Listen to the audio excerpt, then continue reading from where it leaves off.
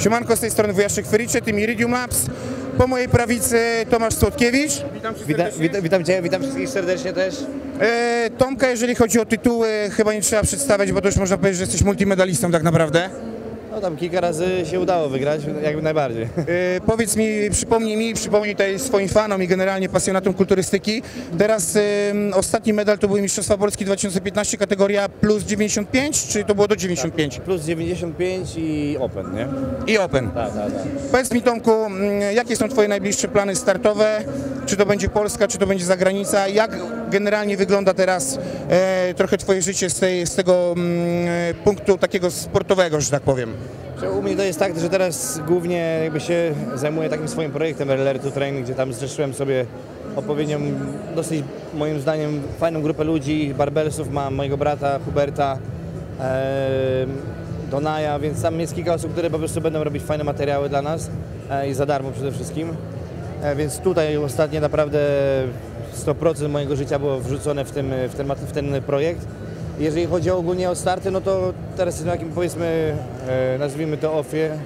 Jeszcze tam z 3-4 tygodnie bardziej dbam o odnowę, czyli wlewy dożylne w Revital Clinic. Ogólnie dbam po prostu o to, żeby trochę psycha odpoczęła przed wejściem na obroty.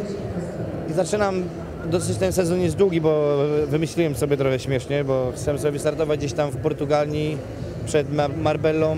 E, Marbella to oczywiście Olimpia Amatorów w Polsce. Chciałbym wystartować, ale raczej w drugiej połowie e, sezonu, ale nie wiem do końca jak to jeszcze będzie, bo chciałbym po prostu no, rozmawiałem tutaj z, z jedną osobą, nie mogę na razie zdradzać z kimś, ale ktoś też ma ten sam pomysł, żeby pojechać do Stanów i tam wystartować przed Mister Olimpią e, w amatorskich takich zawodach IFBB.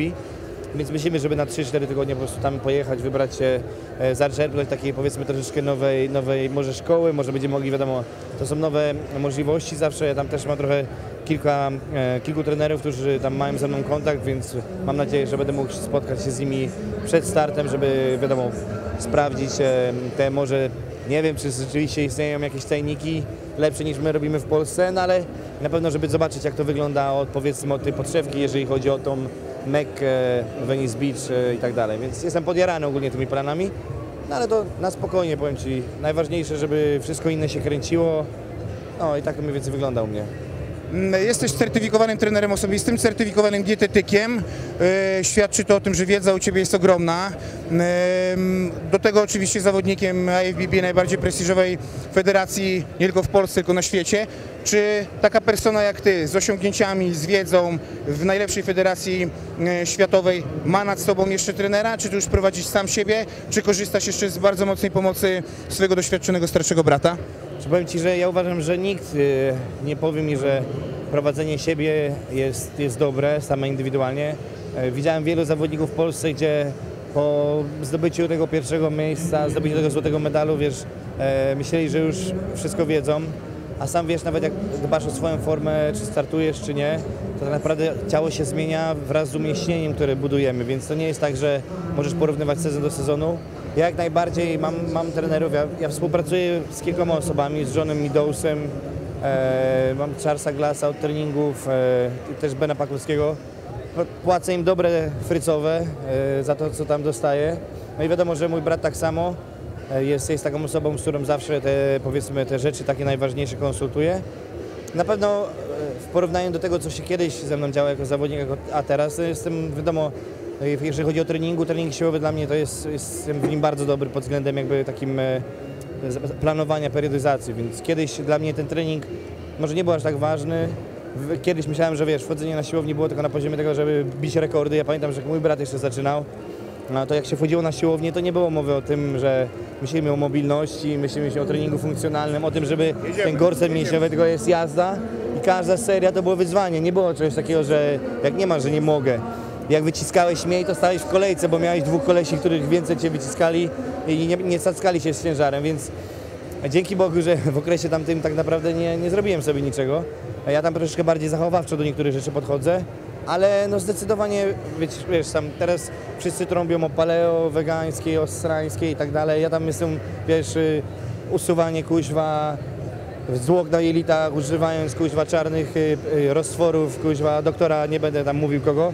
Przeroztwory nad treścią troszeczkę się zaczyna robić. No, no, moim zdaniem, że jak najbardziej super sprawą jest to, wiesz, na przykład teraz te wlewy dożylne, takie rzeczy, które ktoś tam, wiesz, trening funkcjonalny, ta mobilność, to żeby poprawić sobie tą pracę całego ciała, no ale nie przesadzajmy, nie? Nie przesadzajmy, że to jest aż, aż takie złe, no jak jeżeli ktoś je monotonnie ryż i kurczak, no to wiadomo, że będzie miał braki, bo w każdej monotonnej diecie to jest, ale jak ktoś dba o to, robi regularnie badania, to tak naprawdę nie trzeba być alfą i omegą, żeby, żeby pewne rzeczy nauczyć się.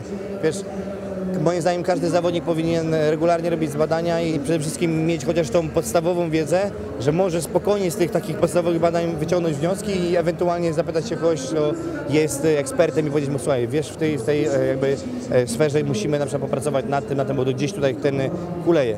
Więc y, kurczę, no jest to kompletnie inny poziom niż kiedyś miałem, ale zdecydowanie mówię, bardziej się skupiam właśnie na tym treningu, bo ja uważam, że nie trzeba aż tak dużo zmieniać, najważniejsze, żeby trawić, żeby dobrze się czuć, e, sprawdzać te badania, ciało, ciało ci mówi, co trzeba robić, a trening siłą gdzieś tak z jednej strony gdzieś poszedł, wiesz, do lamusa tak naprawdę. Niby ćwiczą lepiej, niby ćwiczą mocniej, e, wiesz, 100% albo nic hasło, albo bez wymówek, ale tak naprawdę w każdym tym haśle trzeba mieć dystans do, do tego, co się robi na siłowni. Ja, ja, albo jak, wiesz, też prowadzę jakieś tam wykłady na trenera personalnego, jakieś tam seminaria, pierdoły, to też widzę, jak ludzie teraz ćwiczą. Teraz się dużo, bardzo, albo się oszczędzają, albo ćwiczą idiotycznie, nie?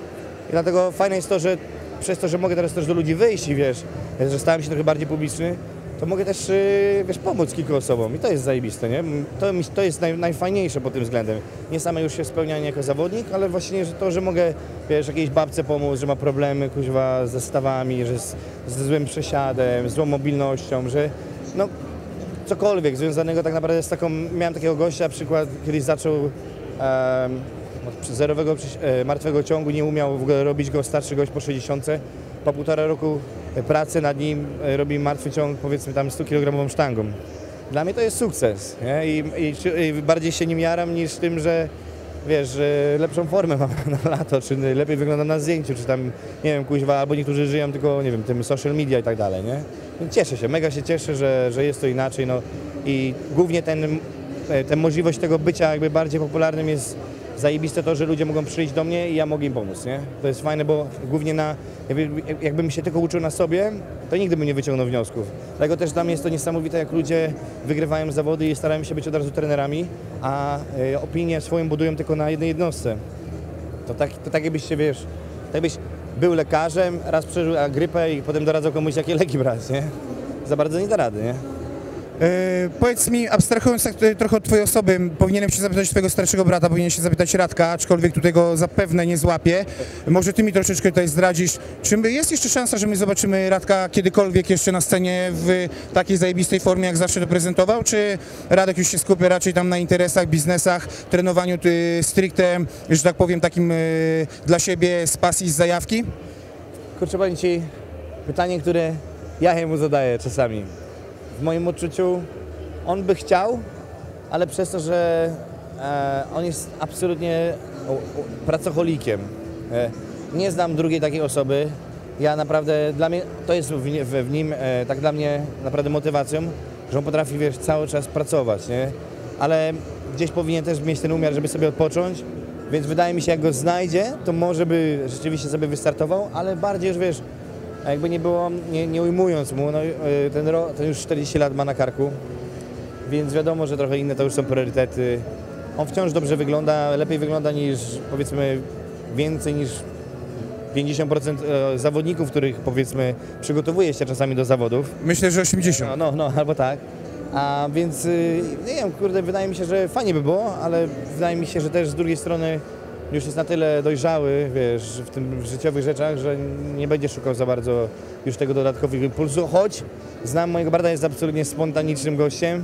Jak kiedyś tam wyszedł z, Strzego, z Strzegomie bodajże, czy nie, no z Strzegą chyba to był, gdzieś tam przez bomby tak naprawdę się przygotował, a robił sobie sesję e, jakąś tam, bo pamiętam, że za nią robili jakąś sesję tam z koniem i tak dalej na plaży i po dwa tygodnie później stwierdzili, że oni wiesz, z- z- wystartują na zawodach. Więc to, to było tak coś ciekawego, ale no musimy poczekać, nie? Ostatnie pytanie. E, Co myślisz o takiej imprezie, na której się dzisiaj znajdujemy? O debiutach e, kulturystycznych, i o tym, że debiuty kulturystyczne i w ogóle te duże imprezy sportów sylwetkowych, sportów, może inaczej, branży fitness, wellness coraz częściej są właśnie łączone z targami. E, To jest dobry pomysł, niedobry pomysł, jak to wygląda z punktu widzenia zawodnika, jak to wygląda generalnie dla ludzi, dla takich przeciętnych Kowalskich. Czy, wiesz co, mi się wydaje, że to jest e, zajebisty pomysł, głównie e, jakby dla mnie, pod względem tego, że przychodzą do mnie ludzie i wiesz, e, praktycznie śmieszne, bo nie znam ich, oni mówią, o widziałem zdjęcie jak tam z Radkiem, a to jest twój podopieczny, no on w sumie jest mniejszy niż twój pies. Więc widzę jak też ludzie, ci, którzy przychodzą do nas na, na stanowisko, żyją takim troszeczkę naszym życiem.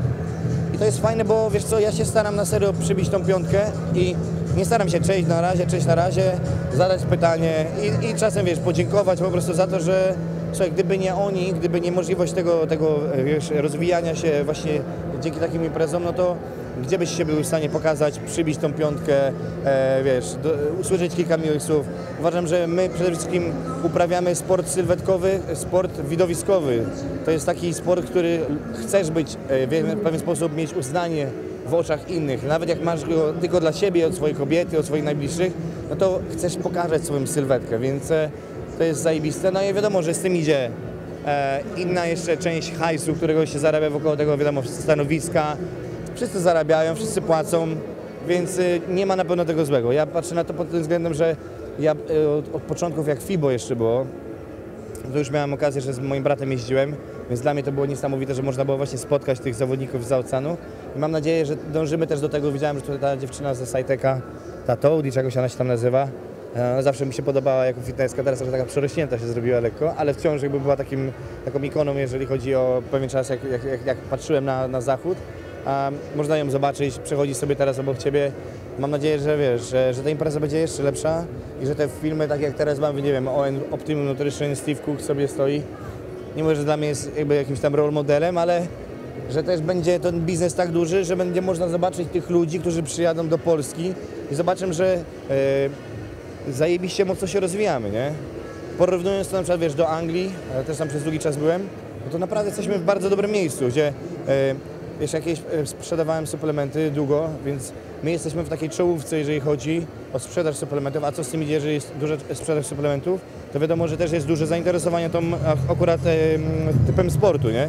Więc przyjeżdżajcie, płaccie za bilety, kuźwa, oglądajcie show, kupujcie odżywki, przybijajcie piątki, nie wiem, cokolwiek, bo tak naprawdę każdy każdemu sobie pomaga. Bardzo dziękuję Ci za tą mm, obszerną rozmowę. Życzę najlepszego. Gadatliwy bardzo dobrze. Ja mam bardzo mało pracy, tak naprawdę trzymam tylko mikrofon, ale liczyłem, że będę mógł sobie tutaj z Tobą obszernie pogadać. Dziękuję, życzę wszystkiego najlepszego. Niech plany zawodowe, sportowe, prywatne się spełniają i co, do zobaczenia pewnie gdzieś na najbliższych targach i na scenie. Dokładnie, dzięki bez wymówek, dzięki.